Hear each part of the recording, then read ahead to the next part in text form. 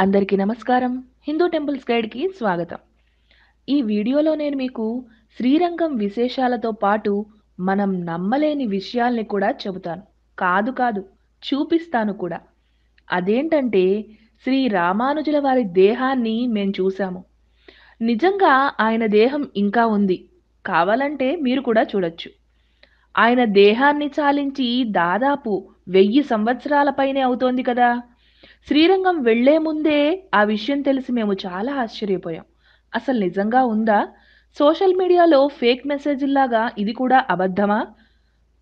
అసలు ఎక్కడ ఉంటుంది? అని ఎంత ఆలస్యమైనా సరే తెలుసుకోవాల్సిందే వెళ్ళి చూడాల్సిందే అని మేము గట్టిగా నిర్ణయించుకున్నాం. ముందుగా నేను మీ అందరికీ ఒక విషయం చెప్పాలి. ఈ ఆలయంలో దర్శనాల సమయాలు అన్ని ఆలయాల కంటే భిన్నంగా ఉంటాయి. నేను ఈ వీడియోలో ఆ సమయాల్ని కూడా చెప్తాను. అవి వినకుండా మీరు దేవాలయానికి వెళ్తే మాత్రం నేనేమీ చేయలేను. మేమందరం రామేశ్వరం యాత్రకు వెళ్ళినప్పుడు శ్రీరంగాన్ని కూడా దర్శించుకున్నాం. శ్రీరంగాన్ని భూలోక వైకుంఠంగా పిలుస్తారు. శ్రీరంగంలో గోపురాలను చూసి నాతో పాటు వచ్చిన యాత్రికులందరూ షాక్ అయ్యారు. మీకు తెలుసు కదా శ్రీరంగంలో ఉన్నది శ్రీ రంగనాథుడి ఆలయమని నూట యాభై ఆరు ఎకరాలలో ఇరవై ఒక్క గోపురాలతో ఉన్నదన్న విషయం మనందరికీ తెలిసిన పని విషయమే కదా? విష్ణుమూర్తి యొక్క నూట ఎనిమిది దివ్యక్షేత్రాలలో మొట్టమొదటిది శ్రీరంగమే.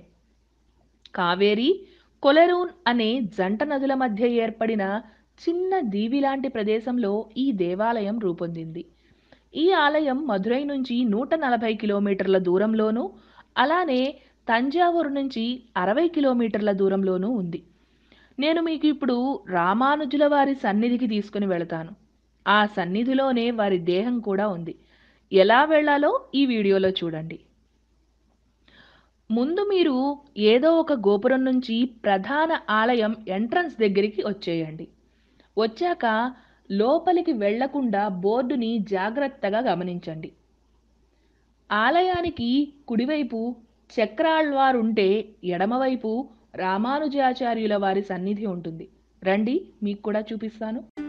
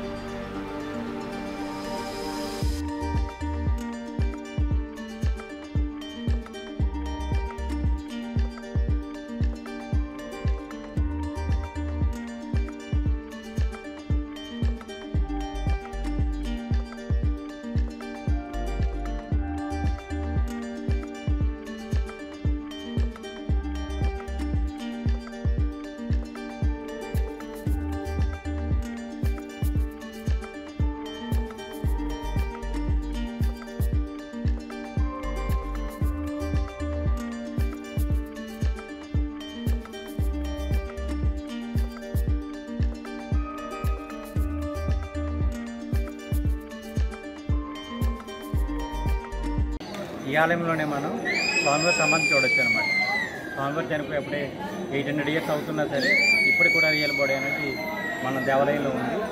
మీరు శ్రీరంగం వచ్చినప్పుడు శ్రీరంగంలో ప్రధానాలయానికి రైట్ సైడ్ లక్ష్మీ ఆలయం ఉంటుంది. ఈ ఆలయం గురించి తప్పకుండా చూడండి.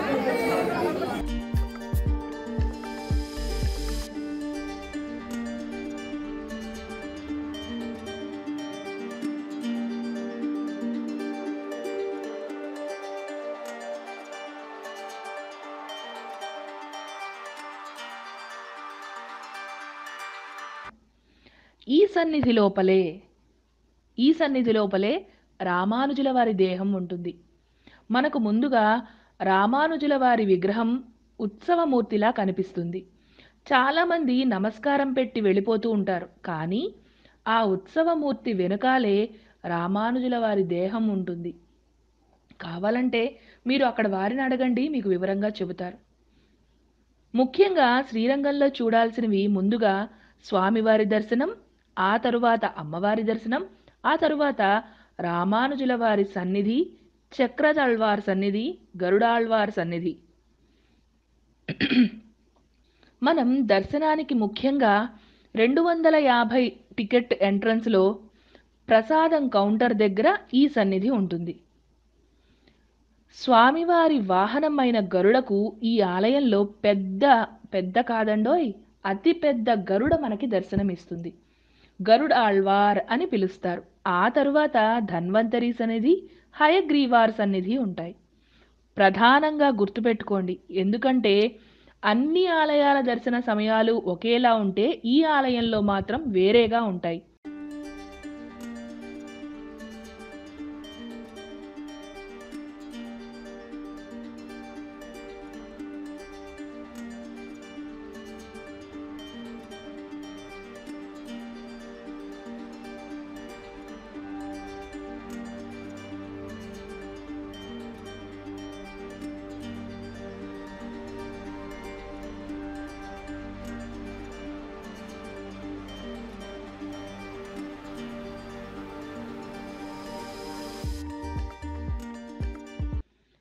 ఆ వేరు ఏంటి అంటారా? చెబుతున్నా వినండి. ఉదయం ఆరు గంటల దర్శనానికి అనుమతిస్తారు కానీ ఆలయంలో ఉదయం ఏడు గంటల పదిహేను నిమిషాల నుంచి తొమ్మిది గంటల వరకు దర్శనం మాత్రం ఉండదు. ఆ సమయంలో స్వామివారికి పూజలు చేస్తారు. మళ్ళీ తొమ్మిది గంటల నుంచి పన్నెండు గంటల వరకు దర్శనం ఉంటుంది. పన్నెండు గంటల నుంచి ఒంటి గంట పదిహేను నిమిషాల వరకు దర్శనం ఉండదు. మరలా ఒంటి గంట పదిహేను నిమిషాల నుంచి ఆరు గంటల వరకు దర్శనం ఉంటుంది. మరలా ఆరు గంటల నుంచి ఆరు గంటల నలభై ఐదు నిమిషాల వరకు దర్శనం ఉండదు.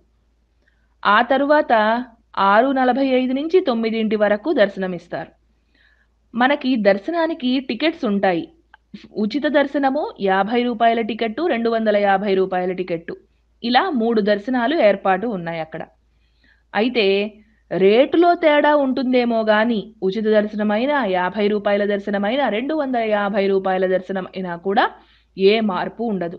మనం అనుకుంటాం రెండు వందల యాభై రూపాయల టికెట్ అంటే అంతరాలయ దర్శనం కావచ్చు లడ్డూ ఇస్తారేమో ప్రత్యేకంగా ఇంకేమైనా ఉంటుందేమో అని అనుకుంటాం కానీ అక్కడ మాత్రం ఎంత పెట్టి టికెట్ కొన్నా కూడా అందరికీ ఒకే రకమైన దర్శనం ఉంటుంది. ఈ ఆలయం దర్శనమైన తరువాత శ్రీరంగం దగ్గరలోనే జంబుకేశ్వరం ఉంది. ఇక్కడ నుంచి రెండు కిలోమీటర్ల దూరం. రెండు కిలోమీటర్ల దూరం కన్నా కూడా తక్కువే జంబుకేశ్వర జలలింగ క్షేత్రం ఉంది. ఆలయం దగ్గరలోనే చాలా రూమ్స్ ఉన్నాయి. కావేరీ నదిలో స్నానం కూడా చేయవచ్చు. కావేరీ నది దేవాలయానికి ఒక కిలోమీటర్ దూరంలో ఉంటుంది. మేము కావేరీ నదిలో స్నానం కూడా చేశాము. ఇక్కడ కూడా పిండ ప్రధాన కార్యక్రమాలు చేస్తున్నారు. శ్రీరంగంలో చాలానే హోటల్స్ ఉన్నాయి. మీకు ఏదైనా అదనపు సమాచారం కావాలి అంటే కామెంట్ చేయండి. నేను మీకు రిప్లై ఇస్తాను.